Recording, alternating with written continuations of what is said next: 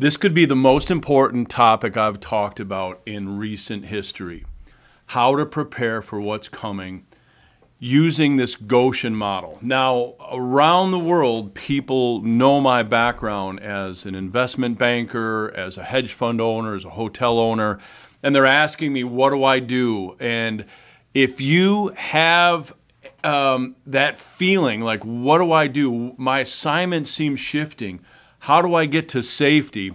Stay through to the end of this teaching. I'm going to go through the scriptures. I'm going to pray. I'm going to give you some principles, but I want to talk about very practical advice. And I'm doing this because I'm literally getting people from everywhere asking me the same questions, and I want to put out the teaching so that everybody can get it all at once and begin to prepare. Um, I'm not doing this to uh, hype up fear. This is a very important time coming ahead, and what you do now to prepare is absolutely critical. So, uh, Goshen, let me go over the scriptures because there's some key points that you need to learn. And again, stay with me to the end. Um, in the Bible, the land of Goshen refers to this area in ancient Egypt east of the Nile in that delta that the king of Egypt gave to Jacob and his descendants, which is Israel.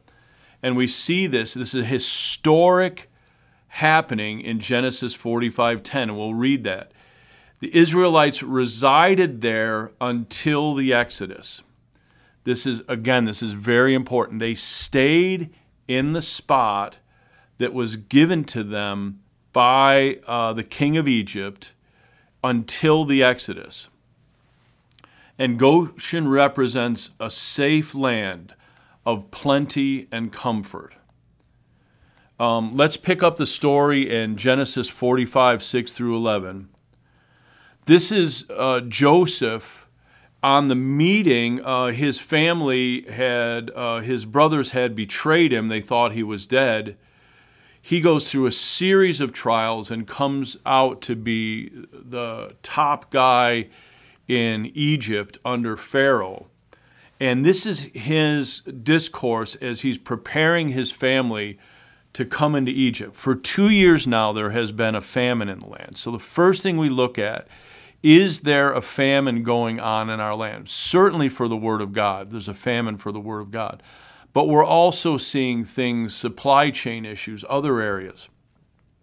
And for the next five years, there will not be plowing and reaping. So they're, they're two years into a seven year crisis. But God sent me ahead of you. There are prophets, there are people, there are businesses that are going ahead of God's people in preparation. Listen, to preserve you for a remnant on earth to save your lives by great deliverance. Again, this is a very um, solemn topic. It's nothing to goof around about. This, this speaks of our lives, our livelihood, our prosperity, our children. Um, uh, great deliverance. So then it was not you who sent me here. He's talking about his betrayal.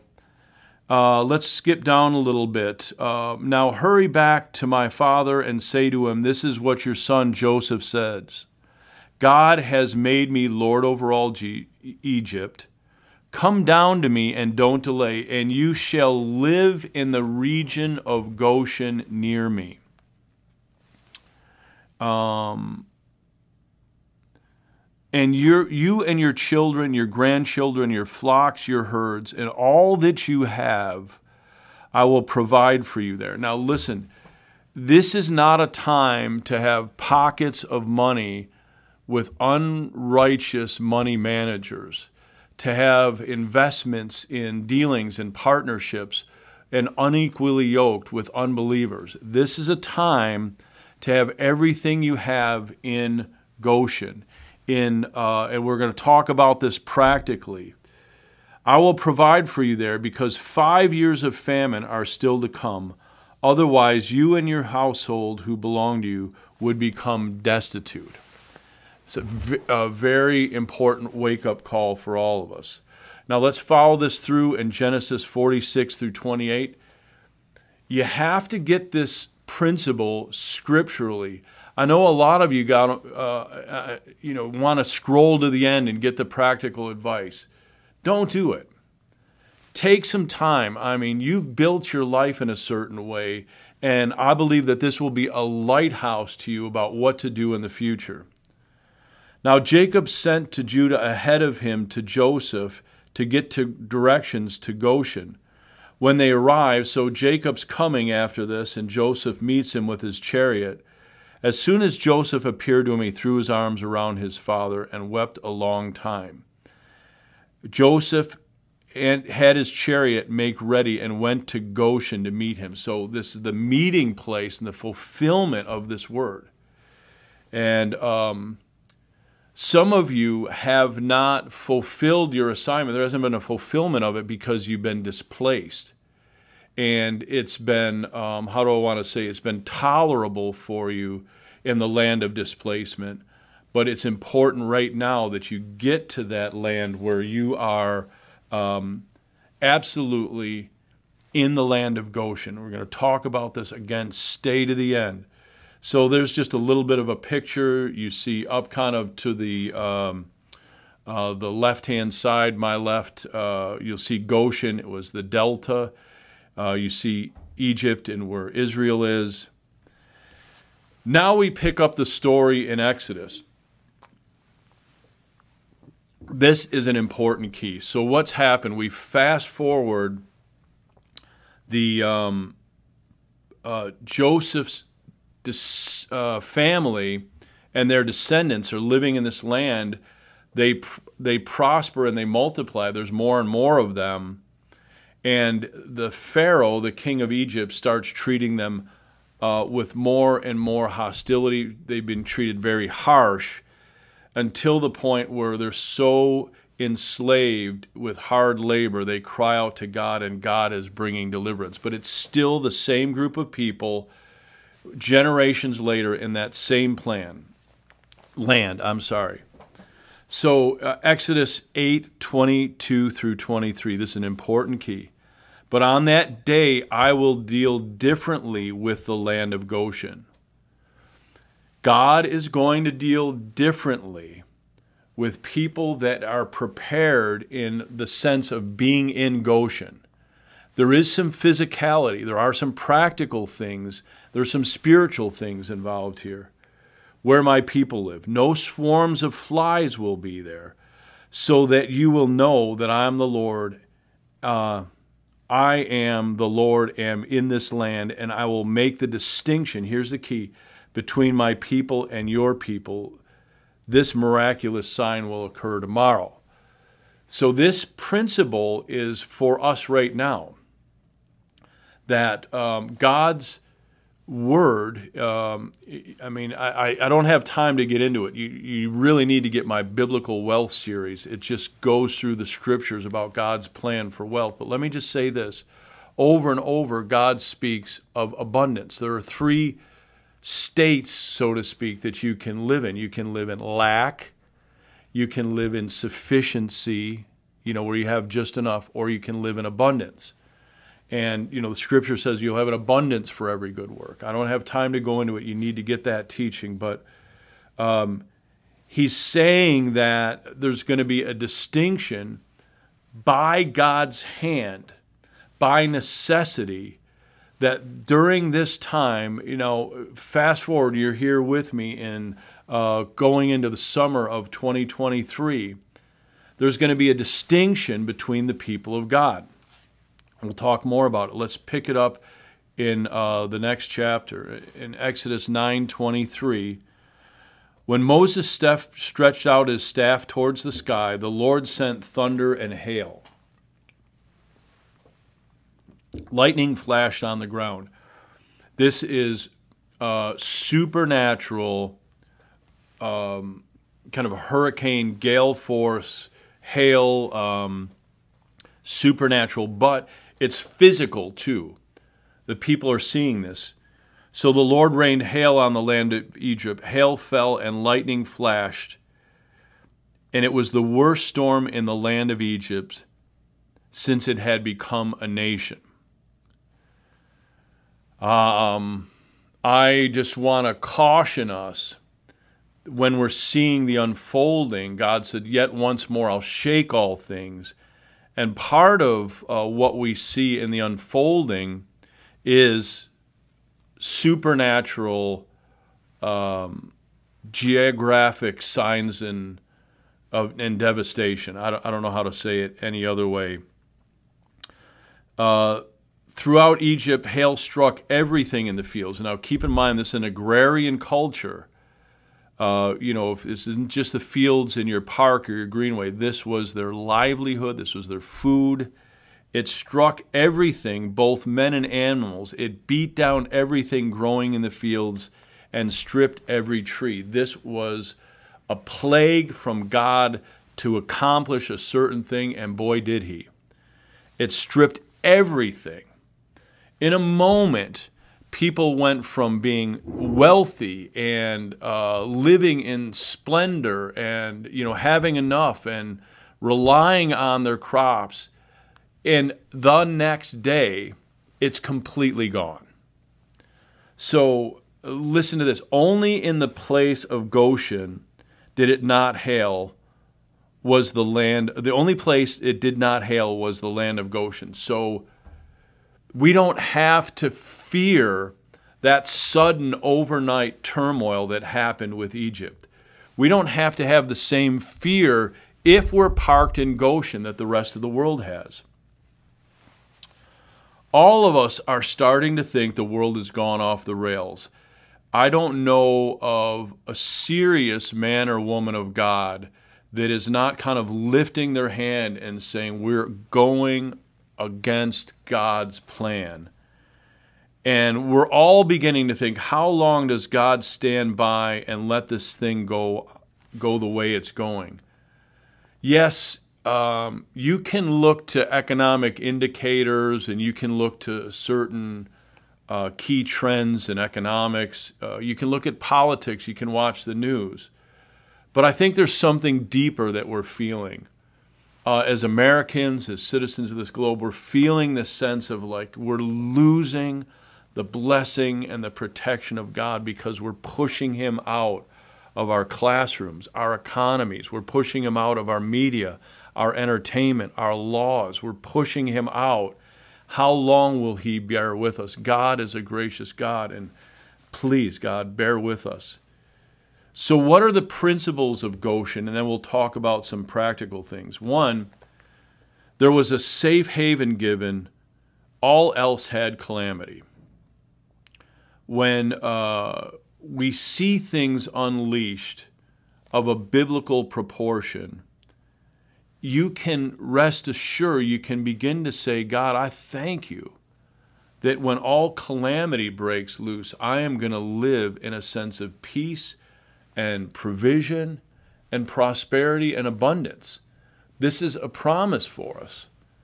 Um, it was supernatural. So, this isn't a sense that people are going to be able to hedge against things with natural remedies.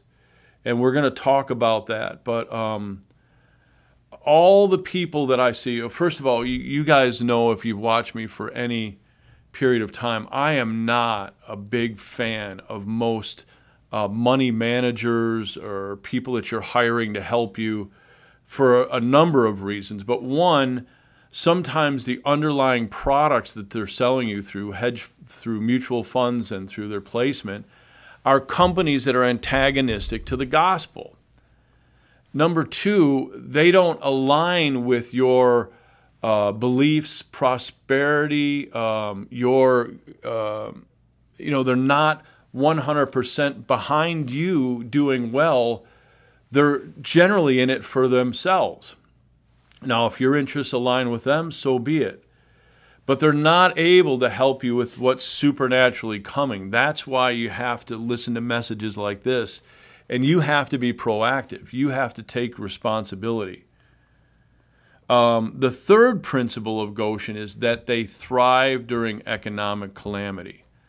And uh, if you've been a part of my uh, classes uh, talking about um, getting ready. Uh, it's prospering in the time of adversity. We have shirts that say that how to prosper in the time of adversity. There's opportunity in the time of adversity, there's time to thrive. And total deliverance only came through the blood. Now, this is a big principle. I don't have time to unpack it, but there were uh, other than Israelis living in Goshen that were protected from the plague. But the last plague was the unleashing of the angel of death, and you had to come into a house where the blood of a lamb was put around the door. So I've seen uh, people from different faiths exercise the principles needed for God's safety and provision, and it works.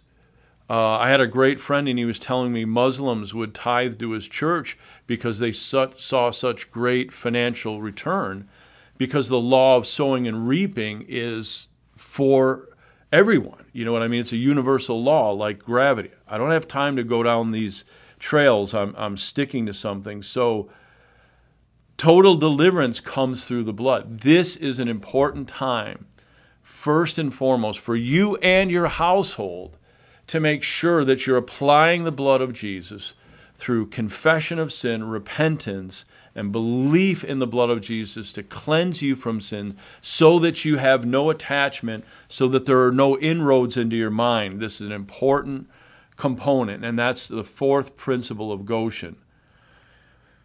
Here's one if we trust in the arm of the flesh, if we're building underground bunkers, storing up endless supplies of ammunition, foodstuffs, do we eliminate God's providence? Well, my answer is I think there's a certain amount of diligence that you can do. Um, it says, uh, the Bible says that when we hear the trumpet, we should prepare for war. When we hear people talking about things, we should do preparation. My concern is in Jeremiah, it says, Cursed is the man who trusts in the arm of the flesh. These things are supernatural. Uh, you can't just fortify against what's coming naturally. And your heart just can't rely on your savings, your strength, your provision. You have to be trusting in God. This is a, excuse me, a spiritual Goshen as well. God told them to live in Goshen. This is a very important key principle. God told them to live in Goshen. Is there a sense that you, your family, your retirement has decided to live by the sea, the ocean, be around that retirement community, follow your job to a certain place, your favorite cafe? I mean, I put that in there uh, just to show how frivolous it is. But is there a sense that you're someplace with some group of people other than it's the will of God for you? And this is an important thing. Like I said, this is not. Um, a matter to be taken lightly. But do you need to sit down with your family and go, God, where do you want us? Where is Goshen for us? Goshen might be exactly where you are right now. Geographically, you might be in the right place. But He may convict you and say, You moved here because you made $10,000 more than you did in the other job. You moved here because you wanted to retire around a golf course. You moved here for other than uh, reasons for my kingdom. And God said, What did He say? Seek the kingdom first, and all these other things will be added. When you're in the kingdom and you're seeking His will, and a big part of that is your location, your oikos, the people around you, your proximity, when you're seeking that, you are in a place of God's mandate to take care of you. You show up and you say, God, you told me I'm here in obedience to you. He is uh, obligated to take responsibility for you. Um, uh, I'm not saying that God wants to take all these things away from us. That's not what I'm saying. I'm not trying to use this as a promotion for you to, you know, come and, and stay with me here on one of the biggest prophetic communities in the world. I'm not, I'm not saying that. I love it here. I, I, feel very much at home. Uh, it's an incredible place that, that's been built here at Heritage. But I am saying that sometimes you walk 20 miles into the forest. God's gracious. Uh, sometimes we make mistakes. Our life goes in a direction that God didn't want or plan. But sometimes you got to walk 20 miles back out. You have, might have made decisions that have carried you into another land, and now you're feeling it. If right now, if you're feeling it, it could be the convicting power of the Holy Spirit. I'm saying the primary thing is to seek God's kingdom first. This is um, a time, again, it's not trusting in the arm of the flesh. In, in Jeremiah, it's, it's, it's clear. It says, Cursed is the man who trusts in the arm of the flesh. He'll be like a desert shrub. He'll be like a tumbleweed, literally. But blessed is the man who trusts in the Lord, who's in Goshen, spiritually, physically, mentally, relationally, in Goshen, in that place of God's hand of uh, divine providence, leading. It says, Blessed is the man who trusts in the Lord and whose hope the Lord is. He'll be like a tree planted by water. Its roots will go through to uh, the water, and it won't cease to have green leaves even in the time of drought by trusting in God. Now, um, you might be on a couple ends of the spectrum. Uh, I remember when I first uh, came to Morningstar, um, people were talking about storing up food even then. This is 15 years ago. And I had a conversation with the family, and they said, Dave, there's just not a lot left over at the end of the week after we buy our, our you know, our main sustenance and pay our bills, you know. So I know a number of you might be in that place of panic and saying, you know, you don't have the finances to build a bunker in Alaska and have uh, a, an escape plan with a, you know, uh, solar powered house somewhere. I get it. Very, very, very few people do. But you can come and roll into God right now and say, Lord, I know that in the time of calamity, there's a Goshen. And as long as I've been listening to you and seeking your kingdom first, I'll live in that place. And then on the other end of the, the spectrum, you might have been investing in solar panels and batteries. All that stuff is good. I, I think some of it's prudent. But is your heart leaning on that? Remember the man. Um, if you haven't, if you haven't gotten my biblical wealth series, I go through this very, uh, very much in detail the parable of the man that built barns to store his bumper crop, and that night God asked for his life. There's nothing he could do. There's not a sense that we can break off reliance on God regardless of how much your net worth is or what you've stored up in food. Trust me, the best thing you can do is to offer everything to God and to be prudent and live in His kingdom. There are two very important messages that follow this. If you're tracking with me, first of all, like and share. Let's get the word out. Let's get people on a very solid, sane path to Goshen. There are two um, continuations of this message. The first is breaking off of curses. Uh, this uh, Sunday, as I was in church, I saw a person and I know their life a bit, and I just felt time and time again they start building and the, the blocks get knocked off. Time and time again they start standing up and the rug gets pulled out. Um, and as I was there, I felt very strongly that there are open doors of curses into their life. This is a, a very uh, uh, important biblical topic. It's throughout the Bible. Uh, there is freedom from curses, uh, but I think there's some important steps that we need to take to be free. So, breaking off of curses, Goshen speaks of coming out of the system. These can be generational curses. They can be self-inflicted. They, uh, but they can be cursed items. But I'm going to go through that specifically and give you very practical prayers and things you can do to break off curses. Um, And then part three, so this was the first part. Part three is poised for God's provision. Are there areas of your life or investments that you're not receiving abundance? Um, let's say, just, uh, you know, uh, in a, a very um, demonstrative way, you took a punch, uh, some, some of your money and gave it to someone to watch over it but they did horrible things with it. Uh, they used it with things that are like, um, you know, antagonistic to the gospel. Well, a lot of companies that people invest in support Planned Parenthood. A lot of companies um, are so sidled with the woke movement, they're using dividends from your investment to um, to do things that actually attack the gospel. So they're outside of Goshen.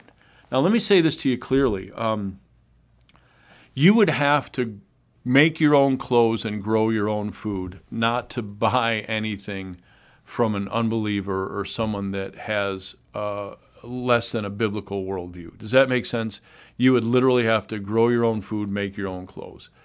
But there's a difference between me buying a coat that might have been made by somebody, I don't know, or investing in their company. You see the difference? This is an important time. And um, so there are also conditions for you to receive God's abundance. It's all by grace, ladies and gentlemen, but there are conditions to be fulfilled to receive that grace. Like somebody gave you an inheritance and they said, okay, this is inheritance. You didn't do anything. It was a great relative that left you this inheritance. But here's what you need to do. You need to let us know that you're staying at the same address. You need to show us your driver's license, and the inheritance is yours. That's the same thing about being in a position where you can fulfill the requirements to receive grace for God's abundance. Let me get to it. Do it today. Go to kbabiz.com. Stands for the Kingdom Business Association.com. There's all kinds of wonderful things. But sign up for the 30 day power up. There's a reason for this. It's my best intake system to get you in to my database. And I can tell when people log in. It's completely free. I don't sell your name. I don't spam you. I don't do anything like that. But it, allows you uh, to get uh, an audio series from Lance Wallnau and myself. Uh, you get it every day for 30 days. But the more important thing is it shows me who is coming to um, this Goshen connection and is looking for the next two sessions.